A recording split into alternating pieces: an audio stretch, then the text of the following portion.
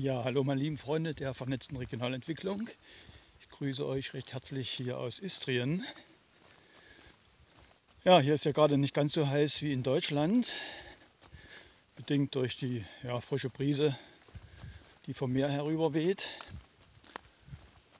Ja, und so kann man also hier äh, ja, mal am Wochenende sich von den tropischen bis subtropischen Bedingungen in, in Thüringen mal ganz gut erholen. Ne? Einfach mal frische Luft tanken. Problem ist einfach, die Anreise nach Istrien, so ungefähr 1000 Kilometer, ist nicht ganz unproblematisch.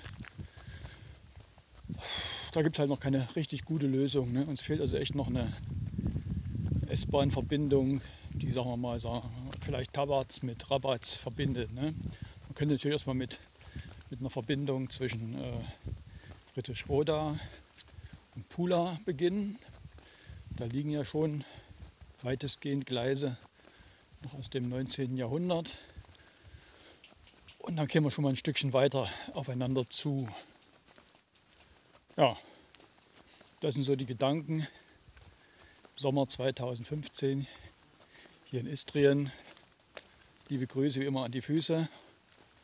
Euer Didi von Germany. Ciao, macht's gut.